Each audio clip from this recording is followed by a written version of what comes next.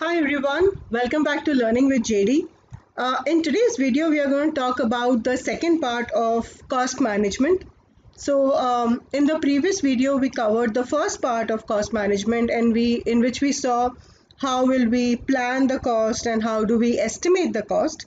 In this video, we are going to talk about another two topics about the same um, about cost management which is how do we determine our budget, which is at an overall level, at a project level, and how do we control our cost of the project. So these are the two important things that we're going to talk about in today's video. So let's begin. Alright, so as we have seen that uh, planning a cost and estimating the cost are a part of the planning process group and determining the budget is also a part of the planning process group. So let's start with determining the budget. So what do you mean by determine a budget? It's a process of aggregating the estimated cost of individual activities. So if you would have seen in the previous video, what we did is we estimated the cost at an activity level, not at a project level. Now there are various activities involved, right? For each of these activities, we tried to find out what will be our estimated cost. But to find out as to what is the entire budget of the project, we have to aggregate all these costs at an you know overall level. We have to take all the cost of the individual activities, combine it and then add certain more reserves to it, understand what are going to be the complications and various steps. We'll take all that into consideration and then we are going to determine our budgets. Yeah. Alright, so the key benefit of this process is that it determines the cost baseline. We saw what the cost baseline is. So it is the uh, process in which we identify the cost baseline against which the project performance can be monitored and controlled. So as a project manager, your job is always to monitor the baselines, right? And cost baseline, one of it, one of being one of the most important ones. So what are the inputs? So of course, when you are sitting and you are you're identifying what the budget is all about, you are going to have you will need certain documents. The documents that you're going to refer is nothing what are known as the inputs. These are documents. You need the project management plan. At this point of time, some documents are already ready with you. Your cost management plan is ready. When did you make your cost management plan? In the planning the cost management process group. So you need your cost management plan, your resource management plan is ready because you know how many people are going to work on your project, you know, what are the kind of resources that you will know, need. It is not only people, but it is all about the other resources as well. Your warehouse, your raw materials, your machineries, all that is also a part of the resource management plan. Your scope baseline is already ready, right? We, if you see in the previous video, we've spoken about the scope baseline as well. Now the scope baseline also includes the project scope statement, the WBS and the WBS dictionary. So you need all these information to determine your overall budget. You need your project documents, right? So you, you have seen what is the difference between a project management plan and a project document. So project documents will have in documents such as basis of estimation. On what basis are you saying that you need so much money? So that is what is something which is a part of the basis of estimates. Cost estimates, the one that you created at the time of estimating your cost at an activity level, your project schedule and your risk register. These are the documents which are part of the project document here. The business documents, you remember business document includes business case and the benefits management plan. Why business document is required here? Because it talks all about the money factor what is the success factor of your project is a part of the business case and the benefits management plan. And of course the agreements because where we are talking about an entire budget at an overall level, you will have to know what are the third parties involved, uh, what are the various relationships or the agreements that you will have with various third parties. So and hence agreements are always an input while determining your budget. Of course, your EEFs on the OPAs. We've spoken about EEFs and OPAs n number of times. So that is also a part of your determining budget input document. Now these are the documents that you need for um, you know working on this process. You've taken all these documents. What are you going to do? you are going to do some processing on these documents. You will find out what are the tools and techniques. How are you going to do it? Through calling through experts. You can call experts. Experts can come. Uh, they are specialized uh, in uh, you know identifying different budgets. They will come and they can help you out. So the first tool and technique is your expert judgment. Then is cost aggregation. Now what do you mean by cost aggregation? Cost estimates are aggregated by work package in accordance with the WBS. The work package cost estimates are then aggregated for a higher component level of the WBS and ultimately for the entire project. So every activity is a part of the WBS and some of the other work package. You aggregate those activities at a work package level, then you aggregate it at an overall level and then find out your complete budget of the project. Some data analysis tool, right? So when you have uh, all the information available with you, you will need some data analysis tool. Some data analysis technique that can be used are uh, reserve analysis. You can find out with the help of reserve analysis which can establish the management reserves for the project. Management reserves are an amount of the project budget withheld for the management control purposes. Now there are two types of reserves. There's contingency reserves, there's management reserves. Contingency reserve is something that you will use as and when the risk occurs. The management reserve is a part of the management control.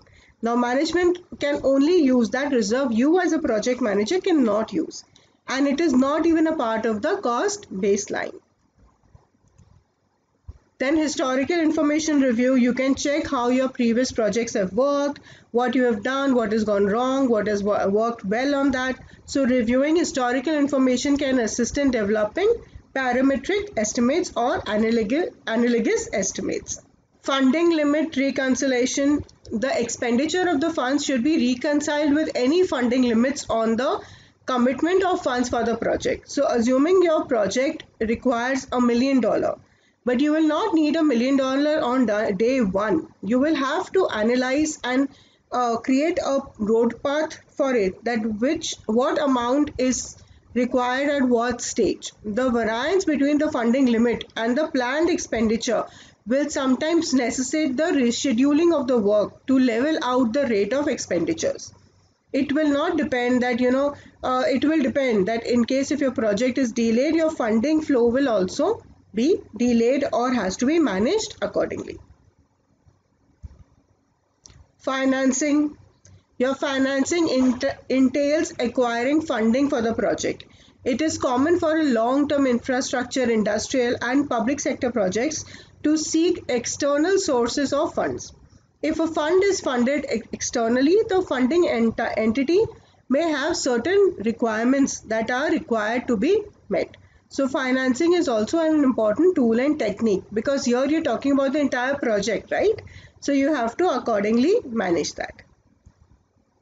So you have the documents, you've used certain tools and techniques, you've called experts, you've done some analysis, you've checked on the funding limit reconciliation, your financing, you have done all that as a part of the tool and technique. What is the output of determined budget? Your one mark question for your examination can be here is cost baseline. Cost baseline is an output of its determined budget. Please remember very clearly. The cost baseline is the approved version of the time-phased project budget. Understand, it's a time-phased project budget, excluding any management reserves. Always remember, and I told you this before as well, cost baseline will have a part of the contingency reserves, but not the management reserves. That's not a part of your cost baseline and you do not have control over that. Cost estimates for the various project activity along with the contingency reserves for these activities are aggregated into the associated work package cost. Very important from your examination perspective. Management reserves are added to the cost baseline to produce the project budget. So there's a cost baseline, you add management reserves to that and you will get your entire budget of the project. This is how exactly it looks like, okay? So when you start from here, there's an activity cost estimate. You add activity contingency reserves to that. which aggregates to a work package level. In your work package also you can add your contingency reserves. Now this becomes a part of your control account. Control account is like a section to it. From these control accounts, when you add all these control accounts, you get your cost baseline. You add management reserves to your cost baseline and this is what is something known as the project budget. This is the overall budget of your project. Remember this will can be a one mark question for you in your examination as to management reserves is a part of the project budget or cost baseline. Okay, so it's a part of the project budget and not a part of the cost baseline. This is how the S diagram is being uh, explained here. This is the thick line that you can see is the cost baseline. Your funding requirement. Remember I was telling you that you will not need all the funds on day one. You will need certain on certain points and then depending upon the various uh, timeline is your uh, requirement of the funding that will be managed within the cost baseline. This is something that is known as the expenditure as to how is your actual expenditure happening. This is your cost baseline. This is what you had uh, estimated. This is the actual expenditure that is happening. BAC, budget at completion. This is something which is known as your cost baseline. How much is the budget that you will need at the time of completion of the project is the cost baseline as the completion. When you add a management reserve to that, that becomes your project budget. Got that? Remember, and this is very important from all your calculation perspective also, from your understanding perspective also. Okay, another output of your determined budget is your project funding requirement. Remember we were talking about that? The total funding requirement and periodic funding requirement as to how much do you need at what point of time is something that will be documented in this document. The cost baseline will include the projected expenditure plus anticipated liabilities all that will be a part of the project funding requirement. The project documents get updated, your cost estimates, the project schedule and the risk register now gets updated. Alright, so that's about how you're going to identify your, how you're going to, how you're going to determine the budget. Now let's see that how are you going to control the budget. So if you see there is actually no work at the time of executing, right? It's all about planning and then spending and then monitoring and controlling. How are you going to monitor your monitor and control your cost? What do you mean by controlling your cost? Control cost is the process of monitoring the status of the project because you need to first see as to what is the status of the project to update the project cost and managing changes to the cost baseline. So there's a cost baseline that you have already determined, right? What is uh, cost baseline is an output of determined budget, right? So you already have your cost baseline. Now the key benefit to this process is that the cost baseline is maintained throughout the project. You will not change the cost baseline. Now you will work towards controlling your cost. This process is performed throughout the project. Now let's see what are the inputs to control your cost. The project management plan of course what do you need in the project management plan? The cost management plan, the cost baseline and the performance measurement baseline. Now these are the three important aspects which are the part of the project management plan that you need while controlling your cost. You need the project documents. Some of the project documents that you will need is your lessons learned register. Uh, you need to understand what and how was the cost of uh, controlling of the cost was done in some of the previous projects or in the previous phases. The project funding requirement is something that you need. You got this at the time when you were determining your budget. Your work performance data. Remember what is work performance data? It is the actual data containing the project status which such as which cost have been authorized, incurred, invoiced and paid what are the various type of costs that you have already spent and what are the budgets on that cost. Your OPAs, you will need your organization process assets as well because you need to know that how does things work within your organization. Now let's see what are the various tools and techniques. Expert judgment. Experts get job everywhere. Yeah, you will call experts to help you control your cost. They will come and see your variance your earned value analysis, the forecasting and financial analysis. The data analysis uh, technique EVA, earned value analysis. Earned value analysis compares the performance measurement baseline, which is the combination of the schedule baseline, the scope baseline and the cost baseline to the actual schedule and the cost performance. How much is it that you've already spent and what is it that you will be spending in the coming time and how much and what level of work has already been completed. EVM integrates the scope baseline with the cost baseline and the schedule baseline to perform the performance measurement baseline. Performance measurement baseline is a combination of all these three baselines. So if in case if you have you are one month to the project and you were supposed to spend say um, 100 rupees and your uh, one fourth of the work was supposed to be finished only at the end of one month if you spend 100 rupees does not actually give you the correct analysis of your project. You need to also understand if one fourth of the work is also completed or no. Only then you will say that you are on your performance measurement baseline. So EVM develops and monitors three key dimensions for each work package. Planned value. Please understand and remember these terminologies very very important from your examination perspective. Planned value PV is the authorized budget assigned to a scheduled work as to how much is the work that needs to be completed that is the planned value if assuming one fourth of the work is worth 100 rupees it will be known as planned value is equal to 100 and not one fourth that is the budget which has been assigned to a particular scheduled work Understand this is all related to work. Earned value. Earned value is the measure of the work performed expressed in terms of the budget authorized to the work.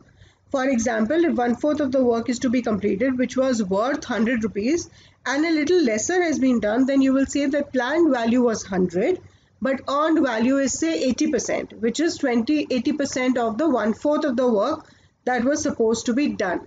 Now this is actually converted in terms of the budget. Why? Because you need to analyze everything as per basis of the cost. Then comes your actual cost which means the actual cost is the realized cost incurred for the work performed on a particular activity during a specific period of time. As I told you at the end of one month, if you were supposed to spend 100 rupees and the work worth that was earned value was 100 rupees, but your earned value which is the work actually completed is worth 80 rupees and you will uh, you have already spent 100 rupees then you are not on the performance uh, the performance measurement baseline let's see how we're going to check on all that.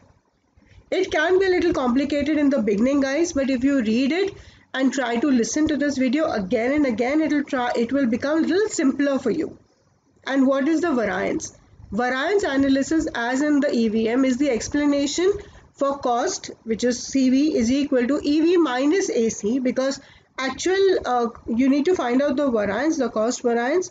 So you have to take into account as to actually how much work has been done which is EV earned value minus what is you have what is it that you have actually spent. That is the actual cost. And when you try to do it in terms of schedule what is it that was uh, earned uh, what is it that is you have earned and what is it that you had planned for a completion? That is in terms of the schedule which is SV schedule variance is equal to EV that is earned value minus the planned value if you see in both the variances something which is common between both the facts is the earned value how much is it that you have already earned is something which is known as your earned value now whether it is against the cost which is AC or it is against the schedule which is PV, you need to find out. And the variance at completion, how much is it that you will need at the time of completion? Is something BAC minus EAC. BAC is budget at completion. You remember at the time when you are budgeting, you have find out what is budget at completion and EAC is estimate at completion. Which means that today when uh, one month prior when you were actually creating your cost baseline, you thought this is the amount that you need, say 100 uh, rupees. and at the time of and the midway you find out that no I am not on my uh, estimate and hence I will need a little more money. So your estimated completion becomes 120 which means your variance is 20. Yeah. Some of the examples, uh, let's see how, uh, what are the examples? Schedule variance. Remember these equations by heart. You will definitely get some questions around this. You will have to do a mathematical calculation and then find out. Schedule variance is the measurement of the schedule performance expressed as a difference between the earned value, you know what the earned value is, and the planned value earned value is the actual value that you have earned out of the work which is actually being done. So SV is equal to earned value minus the planned value. Similarly, in terms of the cost, is the amount of the budget deficit or surplus at a given point in time expressed as the difference between the earned value and the actual cost. CV is equal to EV minus AC which is the earned value minus the actual cost. So uh, your, if your earned value is 80 and your actual cost is 100 which means that you are on a cost uh, variance of minus 20. Yeah. Then comes your performance uh, uh, schedule performance index. The schedule performance index is the measurement of schedule efficiency uh, expressed as a ratio of earned value to planned value. So if you can see, if I can make it simple for you, if you see here, it's EV minus PV. This is EV divided by PV. Similarly, for the cost performance index, your CV is equal to EV minus AC. This is your CPI is equal to EV divided by AC. So very simple. Remember, four formulas are done from SV, CV, SPI and CPI. Yeah, moving on. Your trend analysis. Trend analysis examines project performance over time to determine if the performance is improving or deteriorating. Graphical analysis technique are valuable for understanding performance to date and for comparison to future performance goals in the form of BAC versus the EAC which is budget at completion to estimate at completion. Yeah, so if have a look at this chart very closely. Take some time out and sit and read and reread this chart again and again. Let me explain you. Now, if you can see the center line, this is something which is known as BAC. We saw this in the previous slide as well. Now, what do you mean by BAC? BAC is your budget at completion, which means that you are standing on this day and you say that as per my project completion, BAC is something that I will need to complete my work. Now what is your work? This is your work. This is your planned value. Now this is the value that you have planned and this is the work that you need to complete in your BAC which is budget at completion. Then you come back and you move on a particular date and you say that okay this is my actual cost at the cost that I have already spent and this is my earned value. This is the actual work which has been completed. Out of this entire planned value, this is the only, actually it should have been finished till here, but you have finished only till here. Right? So which means that you are running behind on your earned value. Ideally speaking, this is data date, which means as on date you are sitting on this day. Now what is it that you've spent more? You should have spent so much. You have spent more and you have finished your work less. Your earned value is lesser than your planned value. Your planned value was here and your actual cost is more than what you have already planned which means that you are uh, higher on the cost variance you spend more and the work done is less so now how are you going to fix this you will find out what is your ETC which means it is known as estimate to complete which means that if the trend if the trend goes on like this of spending the money how much money more will you need? You obviously cannot just drop here and complete the work on BAC if the work is going on like this how much is the actual cost that you need to complete this particular work which is known as estimate to complete which means from now till the date of the completion of the project and remember the word to which means from now to the end of the project, how much is it that you will need more, which is your ETC and in which obviously your management reserves will also be used, which is also a part of the project budget. And you will also see what is your EAC, which means that what is estimate at completion. This is estimate to complete that from today's date, how much more do you need? and what is it that you will now will be your entire budget the revised budget your EAC which means your EAC will always be how much ever you have already spent plus what is going to be your new variance which means your BAC plus your estimate to completion that itna to mujhe chahiye hi this is something that I need but this is something more that I need to complete my project have you got this? This is very important from your examination perspective. Now there will be various ways of uh, finding out ETC which is estimate to complete and we will see how we are going to find that. We are going to see what are the various methods of finding the estimate to complete. Okay. Forecasting. Forecasting is also a tool and technique. What happens in forecasting? Nothing that we uh, nothing but that we've already seen estimate at completion. Now what is it going to be your estimate at the time of completion and that may differ from the budget at completion. The budget at completion is something that you decided on day one. Remember, today you're not on day one. Today you're in the middle of the project. Your work is going on. From now to forward, you will say this is what we will complete our project with. Okay, EAC are typically based on the actual cost incurred for the work completed plus an estimate to complete which is ETC the remaining work. Got that?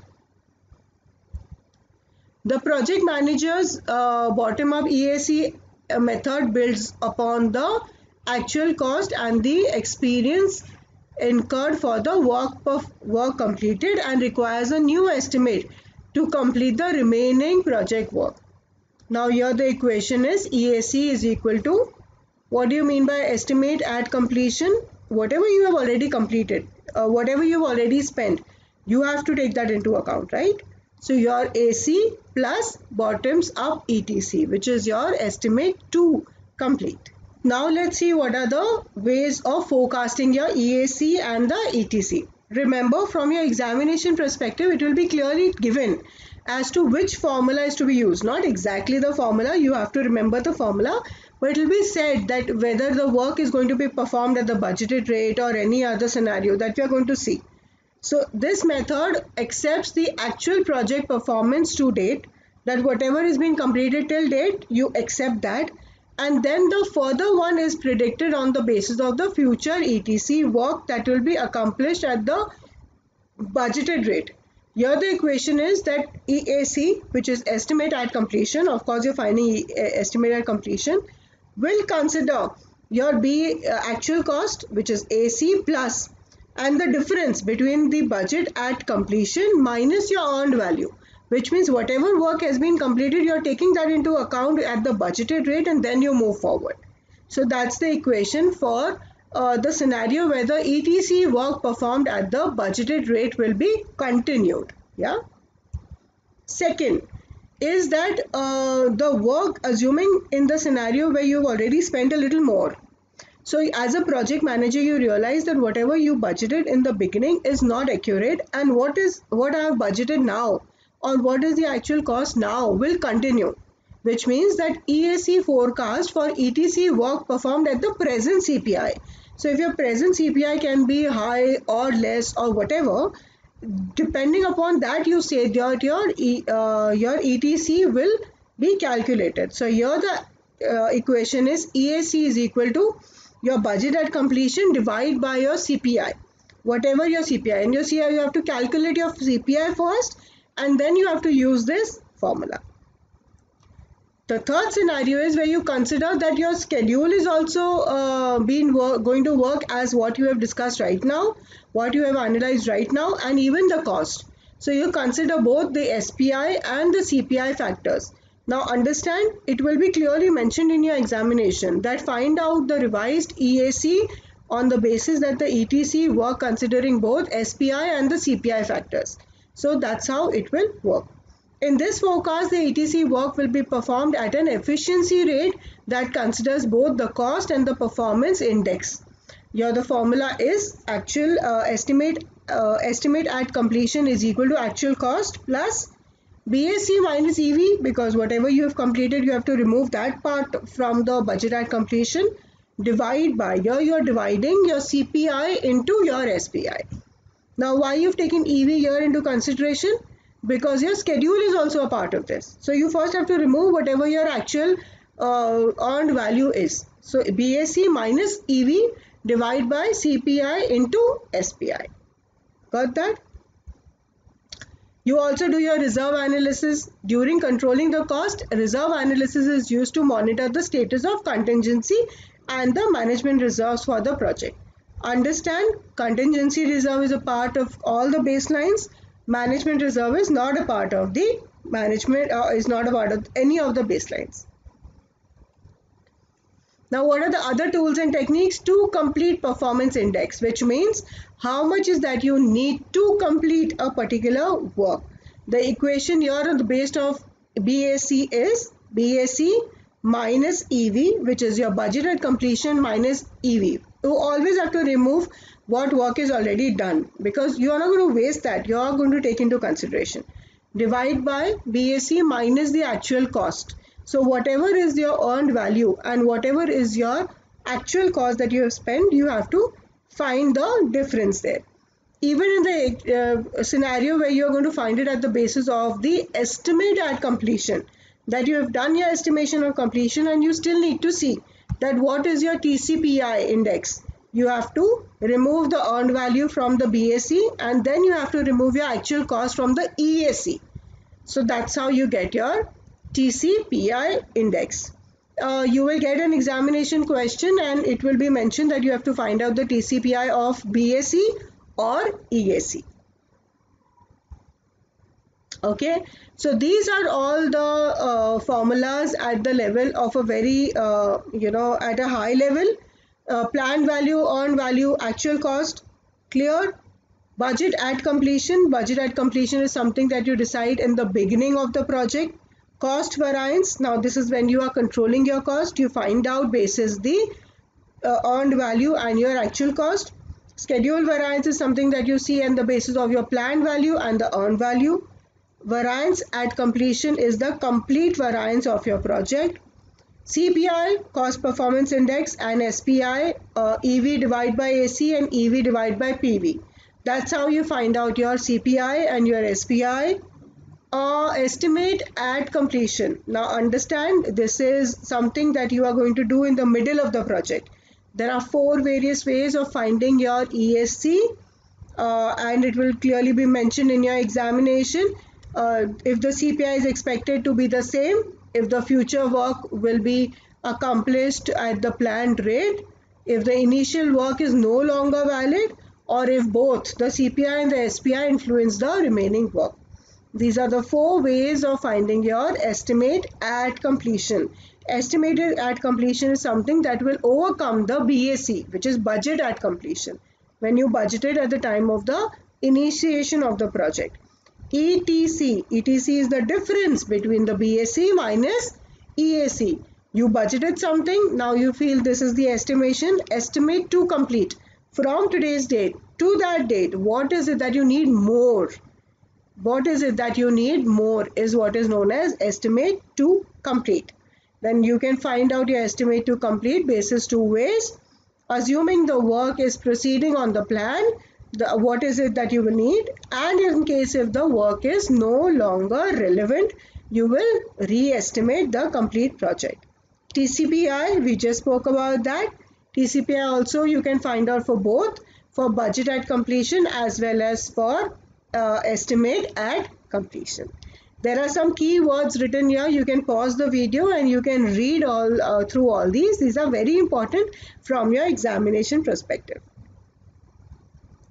yeah uh, some other tools and techniques of course the project management information system you use your uh, softwares to uh, do some kind of analysis out there so that's a project management information system Now what is the output for your control cost? Work performance information. You remember we've spoken so much about work performance data, work performance information and work performance reports. Work performance information includes the information on how the project work is performing compared to the cost baseline. You budgeted for something, remember BAC, and you know that your estimate for your cost or your schedule is something different. Variance in the work performance and the cost of the work are evaluated at the work package level and the control cost level. For project using earned value analysis, CV, CPI, EAC, VAC, TCPI are documented for inclusion in the work performance report. Work performance report is something that will be circulated to the stakeholders. You know your cost forecast now. You know what is your EAC and you know what is your uh, what is it that you need to communicate to the stakeholders. Change request, in case if there's any change request will be raised here. It will be at a part of the control cost output. Some of the documents that will be updated are the project management plan, the cost management plan, uh, cost baseline, performance measure measurement baseline, all these will be modified basis the output. Some documents will also be updated, your assumption logs, basis of estimation, cost estimates, your risk register. Yeah. So guys, uh, that's the summary for what we did today. You determine your budget at a overall project level and then you control your cost, controlling the cost. Uh, EVM is one of the most important topic in control cost. You will get around 6 to 8 marks in your examination. Read it well, study well, remember all the formulas. If you have any queries, do write to me. I will definitely come back to you. Alright, so till we meet again, uh, take care and uh, study. Like, share and comment on my videos. Do subscribe to my channel if you have not done that already. I'll see you uh, soon with some more videos. Till then, bye-bye.